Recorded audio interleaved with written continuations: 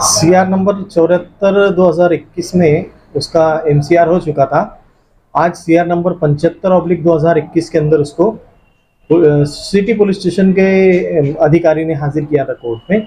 Judicial custody court ने की हुई है सात तारीख तक।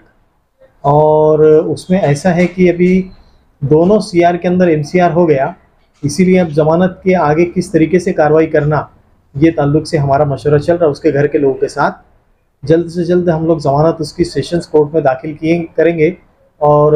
जमानत दाखिल करके फिर आगे देखते हैं कि किस तरीके से उसको जल्द से जल्द जमानत करा के बाहर निकालते आएगा इस तरीके की कोशिश जारी है। आज कोई आर्गूमेंट नहीं था इसीलिए कि पुलिस ने खुद होके उसमें जुडिशियल कस्टडी की डिमांड की थी।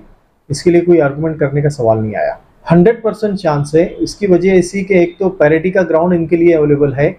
हाईकोर्ट ने बहुत सारे लोगों को ये दोनों सीआर में एंटीसिपेटरी बेल दिया है रेगुलर बेल दिया हुआ है। वो ग्राउंड के ऊपर एक पैरिटी का ग्राउंड अवेलेबल है हमारे लिए। उसके तहत हम लोग जो है तो अज्जू लस्सन वाले का बेल पैरिटी के ग्राउंड के ऊपर ही प्रेस करने वाले हैं।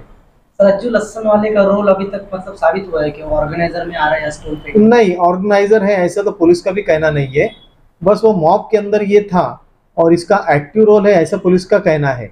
लेकिन अब इसके ताल्लुक से जब पुलिस चार्जशीट फ़ाइल करेंगी कोर्ट में, तब पता चलेगा कि पुलिस ने, पुलिस कस्टडी के दरमियान इससे क्या एविडेंस कलेक्ट किया।